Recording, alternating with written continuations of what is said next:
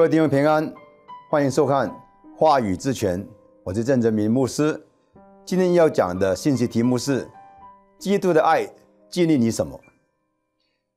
我们继续《个人的后书》，今天分享到第五章十四到二十一节。我念一下经文：原来基督的爱激励我们，因为我们想一人替众人死，众人就都死了，并且他替众人死，是叫那些活着的人不再为自己活。哪位替他们死而复活的主活？所以，我们从今以后不凭着外貌认人了。虽然凭着外貌认过基督，如今却不再这样认他。若有人在基督里，他就是新造的人，旧事已过，都变成新的了。一切都是出于神。他借着基督使我们与他和好，又将全人与他和好的职分赐给我们。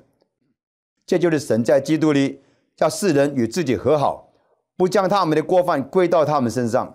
并且将这和好的道理托付了我们，所以，我们做基督的使者，就好像神借着我们劝你们一般。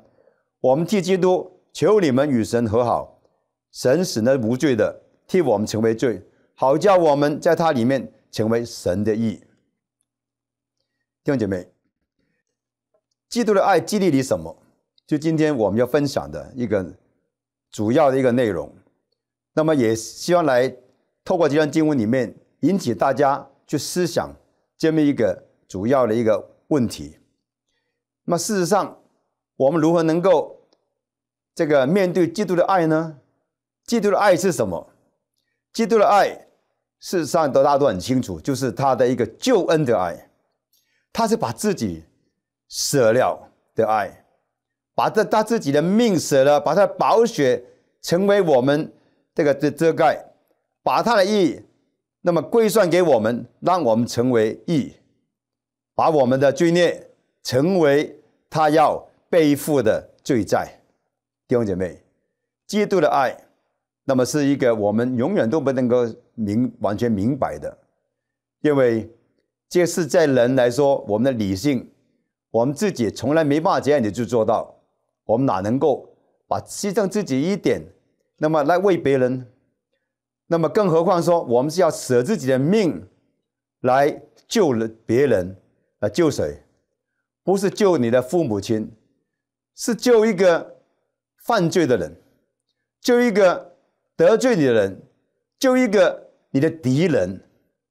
这是耶稣的爱。我们本来在什么样一个一个位分呢？我们就是主的敌人，因为我们犯罪得罪了他。那我们如何却能够？有这么一个身份地位，有这么一个价值，由神差派遣他儿子来拯救我们呢？就弟兄姊妹，基督的爱是远远超过我们能够想象的。那么事实上，在五章第十一节的时候，那么保罗讲一句话说：“主是可畏的。”那究竟主是可畏的还是可爱的呢？那么。我们要明白到一个点，就是神他爱我们，以致把他独生子给了我们。主耶稣就是爱我们，以致他愿意接受父神的差派到世界上来，那为我们死。在这里面，我们更重要明白一件事情：主耶稣基督他不是一个无畏无份的，不是一个该牺牲的，他是上帝。永生神，他的创造主，他是三位一体神的第二位。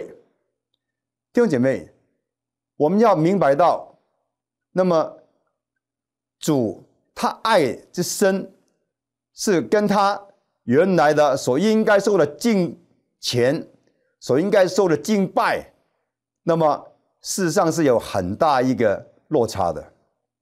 那么真正的主是我们要可畏的。我们要敬畏他，因为这个主是对我们的生命，那么的有无，那么他决定，他创造，他还要再造，然后他还拯救，然后他还要永恒里面陪伴我们，那给我们最丰盛的恩典，把他的荣耀都分享给我们。弟兄姐妹，当我们谈到主的爱的时候，我们千万不要把它当成真的是一个廉价的爱。今天我们看到有些地方，有些有些这个人会说，耶稣的宝血既然能够救我们，那我们是不是就可以天天犯罪，让他多救一点呢？我们知道保罗在罗马书早就已经否定这么一个这个预测。那我们今天更要特别的分享是，基督的爱，那么是超越我们那么所能够回应的爱。今天我们只是那么要清楚到说，这个因是因为父神的一个计划，父神愿意他爱我们，以及救了我们，所以我们。生下来唯一能做的就是，像保罗这样告诉我们说，基督的爱会激励我们，激励我们面对这么一个爱我们的神，我们如何来回应他才是恰当。我们不能给他什么，我们一切所有的都是他的，我们自己也是他的，但是他在意我们的心，在意我们的想法。弟兄姐妹，在这段境界里面，保罗给了我们一个功课。要我们是怎么样呢？要我们去面对其他的人，我们我们如何被神所救？我们如何被神所赦免？我们今天也要同样的来赦免人，要同样的来把这个爱来给那些我们的这个亲人，我们的邻舍。那么我们的邻舍，我们的亲人，我们看见他们。可能还没有信耶稣的时候，那么也是面目可憎的。他们是罪犯，他们的这个想法可能常常跟我们很不一样。他们的信仰可能还是敌基督的。但是我们要明白到一件事：上帝那么愿意我们去，那么对这些能够信耶稣的人。我们要在基督里面看他为信造的，那么就像我们自己一样，我们曾经也是一个旧人，如何在神的爱里面成为新人？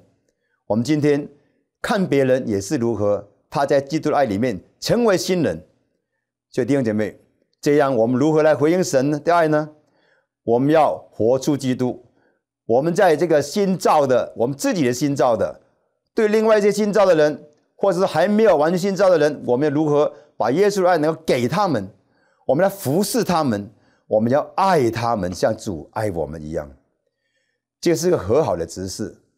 那么神愿意跟他那么所拣选的人和好，那么但是神要透过我们，把他的一个拣选的爱，能够透过我们的言行，给人家感受到上帝的爱。那么我们如何明白到，事实上？基督已经把这个托付给我们，一个和好的词托付给我们，我们就应该那么很用心的来思想，不要看人家的外貌，也不看人家的过去，却看神的心意如何。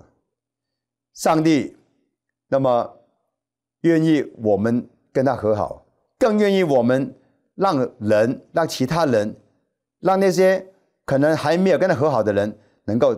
跟他和好，弟兄姐妹，这是我们要学习的功课。那么明白到，上帝是要招我们进入他的荣耀国度，上帝要我们效法他，那么成能才能够像一个蒙慈爱的儿女。我们既然蒙慈爱，我们就要活出一个你要给人家分享爱的一个角色，否则我们就没有真正受到爱了。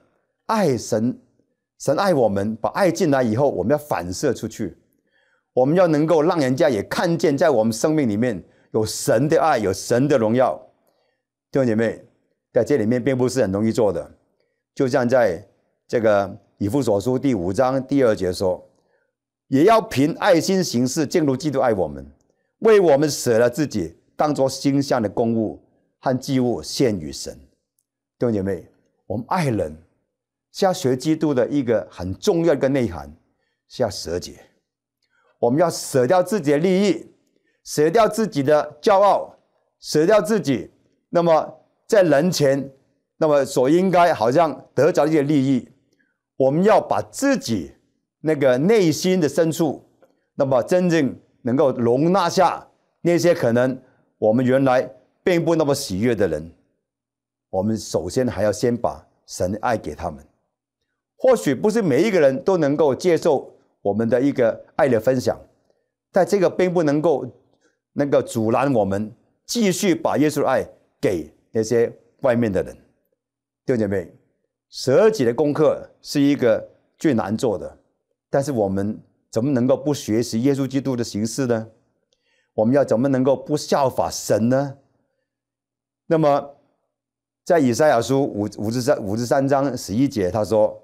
他必看见自己劳苦的功效，便心满意足。有许多人认认识我的义仆，得称为义，并且他要担当他们的罪孽。神透过耶稣基督所要完成的这救恩，所带来的这一个牺牲自己，那么来成就，不是成就别人，还成就神的意念，成就神永恒的计划这一块，我们需要学习。在今天。我们常常要明白到一个事，就是如何我们自己要在基督里，我们如何能够成为基督里呢？我们首先就自己要能够离开罪，然后我们要让别人也成为基督里的人，成为新造的人。我们要帮助他们离开罪，所以一方面我们要帮助人，给人家神的爱；另外一方面，我们还是要按照主吩咐我们的，按照主教导我们的，告诉人家。如何离开他的罪，这个才真正是爱的一个表现。我们一起祷告，亲爱的巴父，我们向你感恩，愿你名得着荣耀，愿你的旨意在我们身上，在我们朋友身上都能够显明。就祷告，奉耶稣基督的名求，阿门。